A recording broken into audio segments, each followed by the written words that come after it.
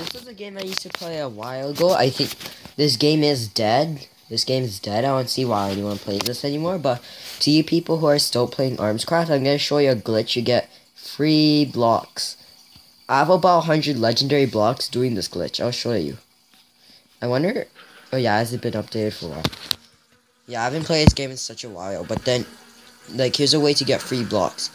So, you delete all the blocks you have on your gun then keep an eye on my amount. 30, 30, 37, 0, 26, 2, 10, 0, 1, 8, 6. Okay? Keep an eye on that amount. Now I'm to close the game.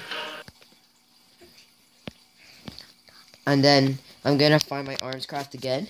And when you join back, I should have the same amount of blocks that you had before you quit the game. This game's dead, I know.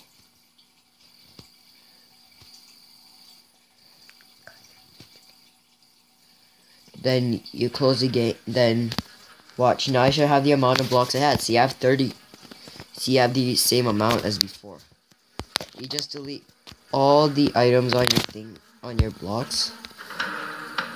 Yeah, but then I'm just gonna play points. Never mind, multiplays. Well, I'm done with this tutorial. See ya.